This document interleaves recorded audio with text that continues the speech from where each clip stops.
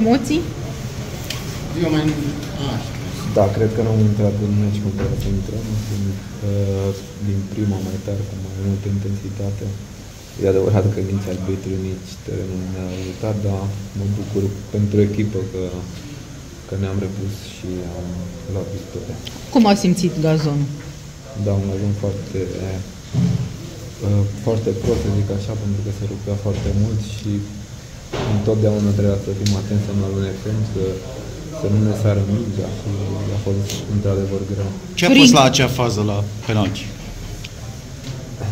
Uh, Da, în, prima, prima, în primul rând greșesc eu pentru că vreau să mă anticipez și, și lasă mingea să treacă.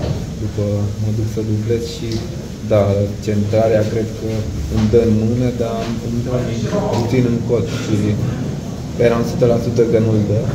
L-a chemat și de la var și, Și tot la și da, cred că vrea să-l dea până la La faza golului 2, Drăgușin părea că nu se mai oprește. E un mesaj nou pentru adversari, opriți pe Drăgușin?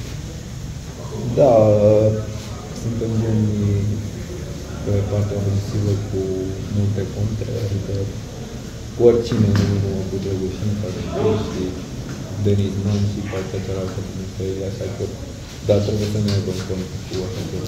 Și cu Sonic. și cu Sonic. Așteptați mondialul? Hai.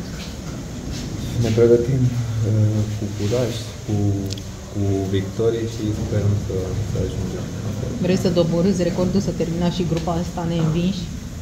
Da, bineînțeles că o să încercăm să câștigăm toate meciurile și să dăm o imagine mai bună decât azi. Mulțumim!